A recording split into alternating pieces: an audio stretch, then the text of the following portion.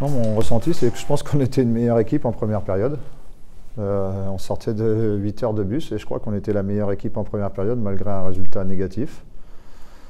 Euh, après ce qui s'est passé en deuxième période, euh, bon, on l'a tous vu, on a été incapable de défendre, de défendre et prendre les crosses autour de notre net. Donc voilà, c'était quelque chose dont j'avais parlé avant le match. On dormait, mais je connais, je, sais les raisons et, c'est quelque chose qu'on réglera, qu'on réglera en interne. C'est quoi la raison? Je peux pas en dire plus. Je, leur ai dit que je pensais qu'on pouvait toujours gagner le match. Parce que je pense qu'on pouvait encore à ce moment-là gagner le match, même si le score paraissait euh, très, euh, très large en faveur de, Sergi. Mais je pensais toujours qu'on était capable de, gagner le match parce qu'on a, on a eu énormément de chance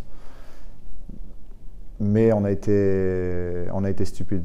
Normalement, quand vous marquez 4 buts à l'extérieur, vous, vous devez être en capacité de pouvoir gagner le match, ou en tout cas de prendre des points, et nous, on a, on a réussi à ne pas le faire. Sur le troisième tir, c'est le même discours que j'ai eu à la fin de la deuxième. J'ai dit que je pensais toujours qu'on était capable de gagner le match. Et, et, quand on a marqué ce troisième but, j'ai senti qu'on pouvait encore revenir de l'arrière. Malheureusement, c'est sûr que le sixième nous a fait un peu mal au moral, mais mais voilà, euh, on n'a pas lâché. On a essayé de revenir euh, comme on pouvait dans ce match. C'était du hockey de rattrapage, on ne va pas se mentir, mais, euh, mais il y a des choses positives à retirer de, ce match-là. Il y a des choses, je sais pourquoi elles se sont passées.